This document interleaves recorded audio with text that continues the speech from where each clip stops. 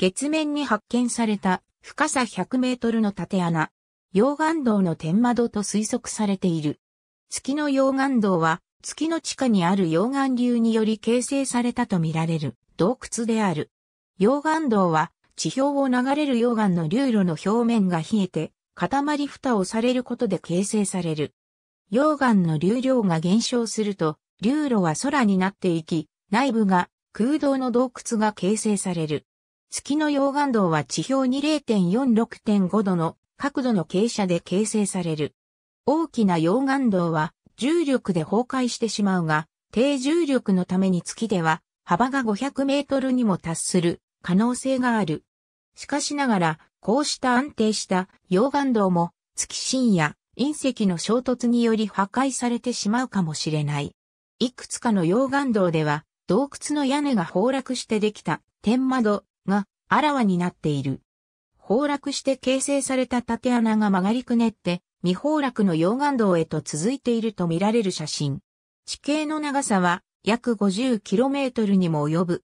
月の溶岩洞を取りるの有力な候補としては、嵐の対応のマリウス級地域のものが知られている。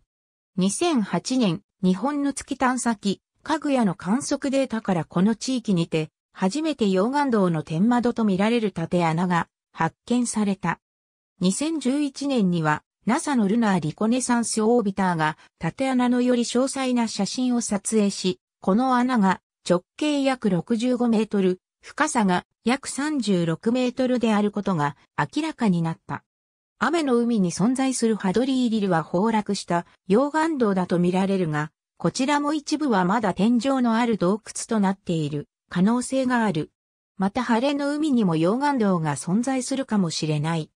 ルロは地下の空洞の天窓の可能性のある200以上の縦穴を撮影しており、これらは直径5メートルの小さなものから900メートルの大きなものまで多岐にわたっている。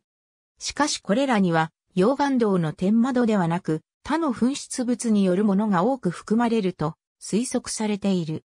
インドのチャンドラヤーン1号は月の赤道近くで古代の溶岩流により形成された長さ約 2km、幅約360メートルのリルを撮影したが、画像には未崩落の溶岩洞と見られる区間が存在することが示されていた。NASA のグレールによる重力の観測からは、月には幅が 1km を超える巨大な溶岩洞が存在する可能性が示唆されている。幅と高さの比を3、1と仮定すると、こうした構造はわずか2メートルの厚さがあれば安定して存在することができる。もし溶岩洞が地下500メートルに存在するなら、理論上は幅が5キロメートルに及ぶものさえ安定して存在することができる。いくつかのグループにより、かつ火星の溶岩洞の無人探査が構想されている。月の溶岩洞は人間の居住地として重要な役割を果たす可能性がある。洞窟は直径300メートル以上の広さに及ぶかもしれず、また厚さ40メートルの玄武岩に覆われた地下は低く、摂氏20度の安定した温度となる。これらの天然の洞窟は宇宙船や隕石といった厳しい環境を阻む防壁となる。地表の激しい温度変化からも守られた溶岩洞は生命のための安定した環境となり得る存在である。月の溶岩洞は一般的に月の海と高地の境界付近に発見されているため、通信のために標高の高い地域にアクセスすることも、打ち上げ施設やレゴリス、地下資源の採掘のために平原に赴くことも容易である。ありがとうございます。